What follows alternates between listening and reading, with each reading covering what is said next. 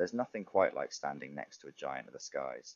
The Airbus A400M Atlas is a military transport aircraft that's a true powerhouse, designed to do it all.